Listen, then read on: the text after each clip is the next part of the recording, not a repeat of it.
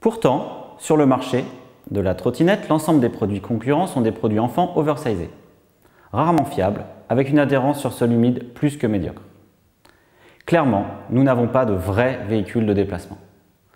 C'est pourquoi notre objectif était clair.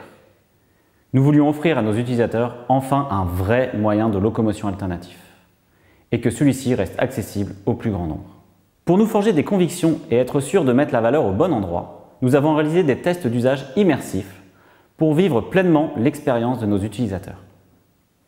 Les points sur lesquels nous ne voulions pas déroger étaient la taille des roues, avoir de grandes roues pour faciliter le franchissement, le freinage, avoir un freinage et une tenue de route efficace même sur sol humide, le système de pliage, avoir un système de pliage fiable et rapide. Et pour finir, le poste de pilotage.